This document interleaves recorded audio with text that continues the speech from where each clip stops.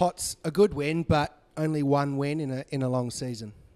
Yep, definitely. Um, it's a very long season ahead, but a good way to kick things off, I think. How'd you feel out there today? Obviously, you, you had a couple of runs during the preseason. Yeah, yeah, come off the bench a couple of times in pre-season, but good to, to start and uh, and get a proper hit out. Um, unbelievable to uh, play for the first time at Welford Road. I've heard a lot about that.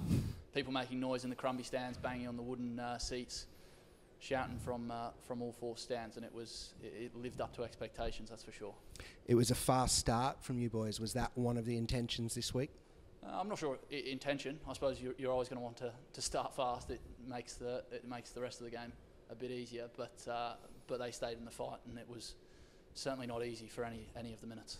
A pretty clear attitude in defence. Has that been a focus since Kevin Sinfield came in?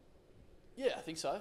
Um, well, definitely, definitely. Uh, defence, I think you often find is pretty pretty based on attitude, and, and the boys certainly turned up today for defence, and, and there were some great passages of play where we where we sent them backwards and, and didn't let them through our lines. Again, probably uh, something to, to build on for next week as well, though. When you say something to build on, the coach has already pointed out that there was probably a couple of soft tries let in in defence.